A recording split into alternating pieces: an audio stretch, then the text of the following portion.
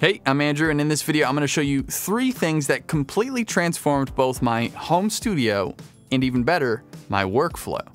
But they're not what you would think. I was lucky enough to work at one of the greatest commercial recording studios for over five years doing literally hundreds of sessions per year. When I was there, I got to work with artists like Justin Timberlake, John Legend, James Blake, Weezer, Dawes, Ghost, Sum 41, and hun literally hundreds more. I learned a ton about running sessions with just about every style of music in almost every situation, and I'm gonna share with you how I use these ideas in my current home studio and how you can take them and implement them into your studio and your workflow.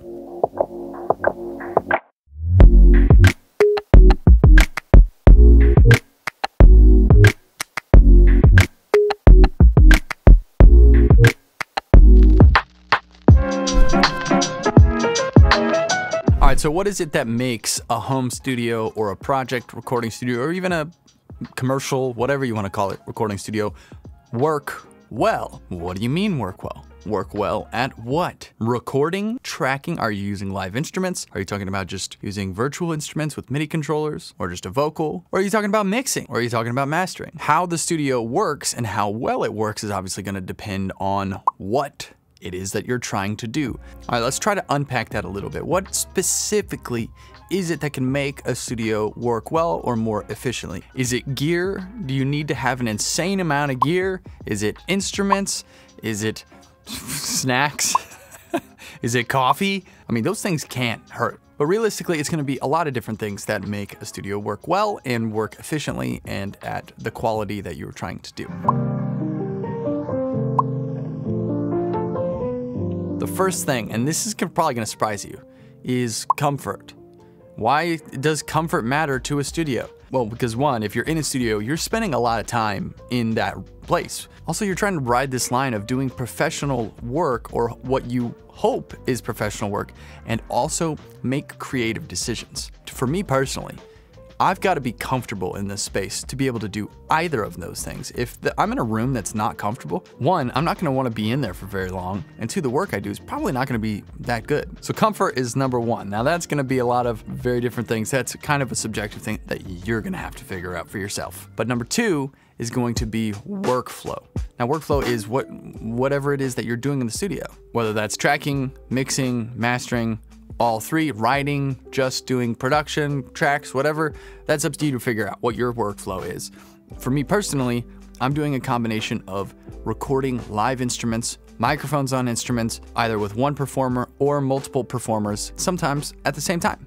I want to be able to do either of those situations and I want to do them at a high quality. Also, it's gotta look pretty good and it's gotta be able to be well lit because I actually love making videos too. I love recording, I love music, but I really love making videos. So number three is efficiency and quality. It needs to be as efficient as possible. And how would I define efficiency?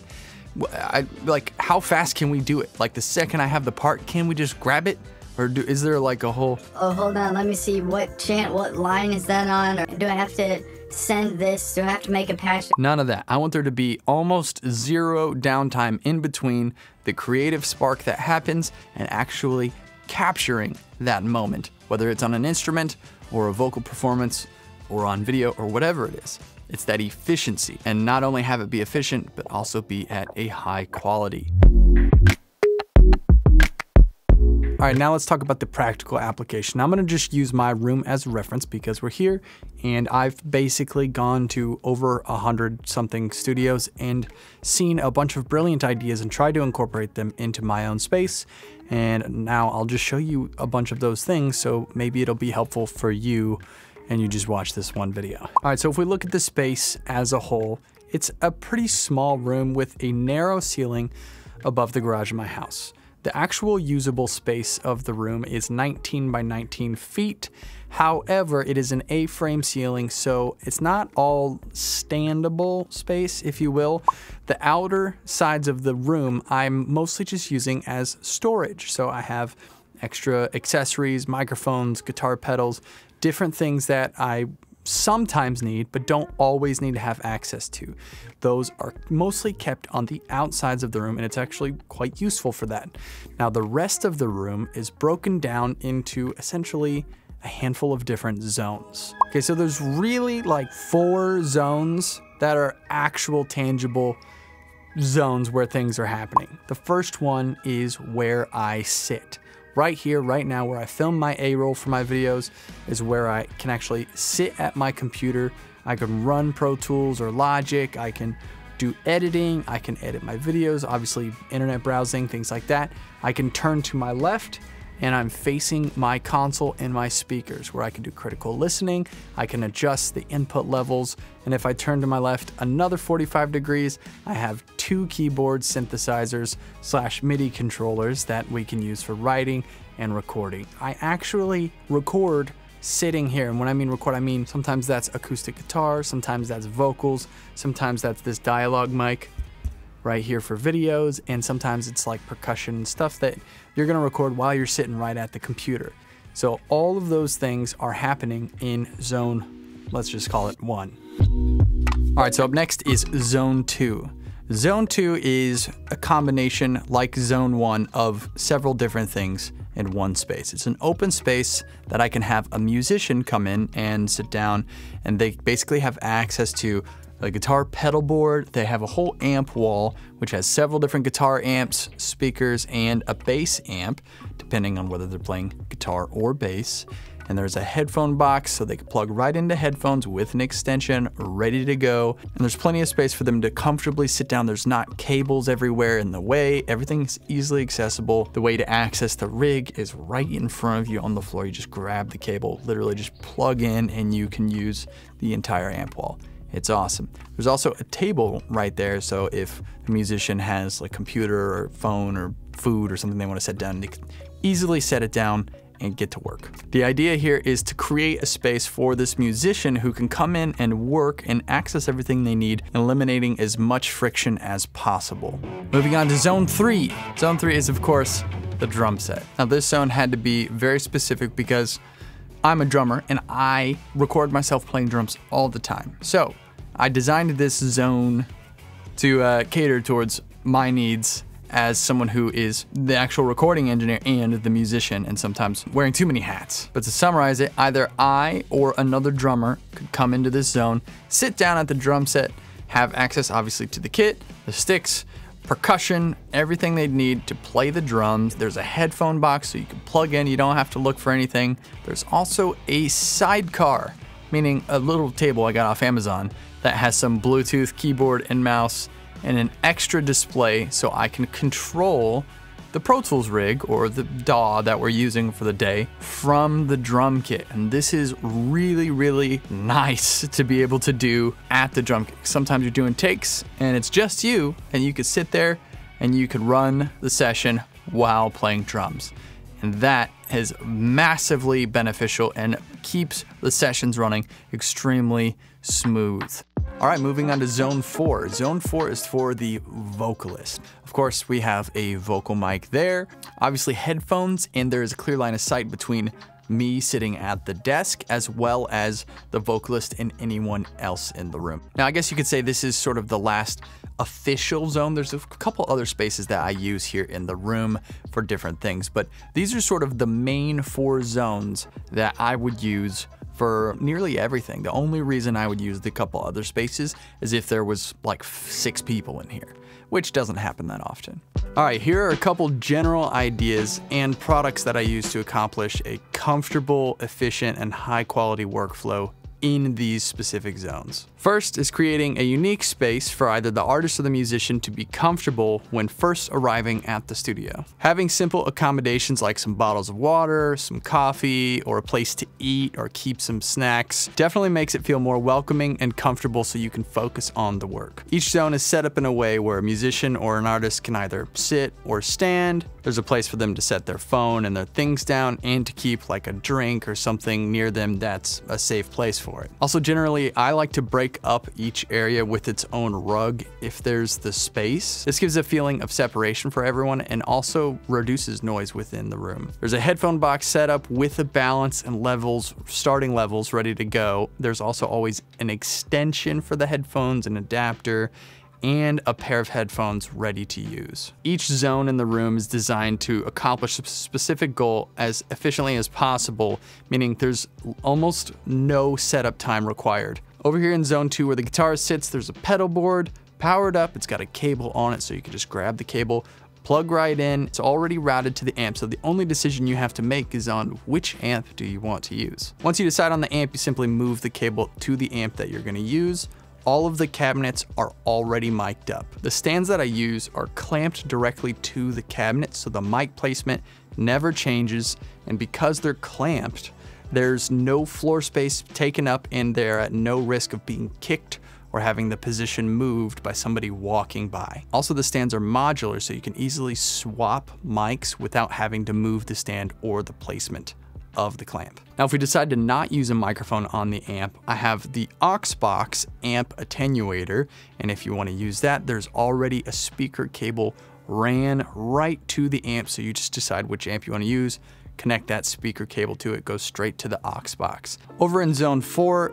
Ideally, it's set up for a vocalist, but we could also use it to record an acoustic instrument like an acoustic guitar, a ukulele, or even something like a violin. Just like the other zones, headphones are ready to go. There's a place to set some stuff down, personal items, as well as a music stand so you can put lyrics and sheet music down, and most importantly, a chair that doesn't make noise. All right, so part of what makes this small space work is actually the microphone stand that I'm using. Now, because it's in an area where I already have outboard racks filled with gear and it's behind some keyboard stands, there wasn't a lot of space for a traditional microphone stand that has a tripod base and takes up a lot of space on the floor. So I used another really intense clamp from Triad Orbit that holds this microphone stand up in the air, but the clamp is actually connected to my studio desk. This way I can still have a microphone over in this zone, but there's nothing on the floor that you can kick or that can get knocked over and that's out of the way, keeping as little clutter as possible visually, which matters a lot to me.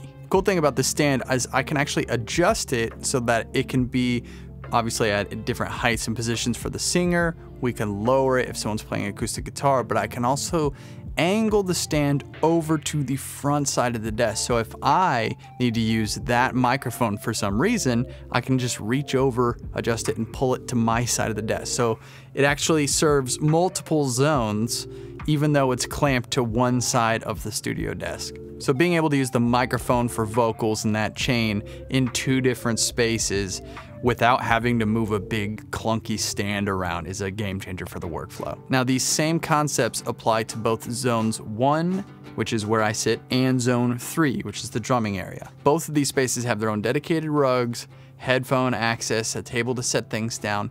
However, what's cool is both of these zones actually have the ability to control the main computer rig for the whole studio. Benefit of this is I can work from two different places within the studio without having to get up and walk back and forth, which I'm sure you've had experience doing before, and it sucks. Now, in some sessions, I'll actually have someone sitting here that's not me, and I'll be at the drums so I can run the session while I sit there and they'll be playing something like maybe acoustic guitar or bass or keys or something like that, and we can actually all play at the same time. Other things that speed up the workflow in the drum zone is I have a bucket of percussion at hand's reach so I can quickly grab them and use them for overdubs. And then, like I said, control the session and do those overdubs without having to get up. There's also spare drum heads and tools that are useful when you're drumming like a drum key, gaffer's tape, and drum modifiers like the big fat snare drum head modifiers, which if you are a drummer and have a studio and you don't have those, you should definitely check into those because those are massively helpful at getting sounds really fast. Now another important part of these two zones is actually the path between them and between other zones as well. Having a clear path where there's no cables stretched across or stands in the way which helps prevent accidents from happening when you're trying to just walk through the studio. I actually worked with Triad Orbit to design a couple of these systems to reduce as much clutter as possible and free up as much floor space in the room as possible. For the whole drum set, there's a total of three microphone stands holding all the mics. And then for the room mic over by the staircase, I have the room mics actually mounted to the wall. And what's cool is because it's modular, I can adjust it any possible way I would want to over there. And it's off the floor. So again, maximum floor space equals maximum happiness in my heart. A lot of times when producing and recording on my own, I do a lot of that work actually just sitting right here at my desk. I've always loved being able to have a microphone right next to me while I'm at my desk so I have the ability to record but also operate the session, turn, listen to the speakers without having to actually get up and move around. This is really, really fun when things are set up in an efficient way and all the things I need to use are actually accessible. Now the side table that I use here in Zone 1 is very useful as it holds everything I need to control my computer as well as my hard drives, my fader controller for automation, but it also is height adjustable so I can stand up if I want to while I'm working and it's on wheels so I can turn and actually move the side table out of the way if somebody else wants to come in here and sit down and listen or sit here and record. I also have an additional mic stand clamped to the side table that's accessible when I want it, but I can also easily move it so that it's out of the way when I don't need it. One of my favorite things about the way this studio is laid out is all of the things I have set up are in use and pretty much get used on every single session. And part of what makes that possible is everything being set up and accessible at a moment's notice. A couple final thoughts that have always helped me are the planning of the layout of the studio, having a solid input sheet with all the mics, inputs, and patches on it, keeping each zone organized and simple to use so either the guest, client, musician, or yourself can actually feel comfortable and enjoy the music making process. Because if not, what are we even doing? If you're interested in some of the gear that I've got here in my studio, check the description for links to them. My current favorite addition to the studio are the Triad Orbit stand systems that are in each zone. I went ahead and made a list of all of the parts that I use to build these little systems in each zone. If you want to check that, I put a link to it as well down in the description. And a big thanks to Sweetwater for sponsoring this video. At the end of the day, if you made some music, it's a success. There are always ways to make improvements, and as much as I love gear, the best gear that I can get gets out of the way of the music making process so you can stay in that nice, clear state of flow without distractions. Do me a favor and let me know what makes your studio comfortable and efficient down below in the comments. I'll make sure to reply to your comments, smash like button for the YouTube algorithm, hit subscribe if you want to see more videos like this, and I'll see you in the next video.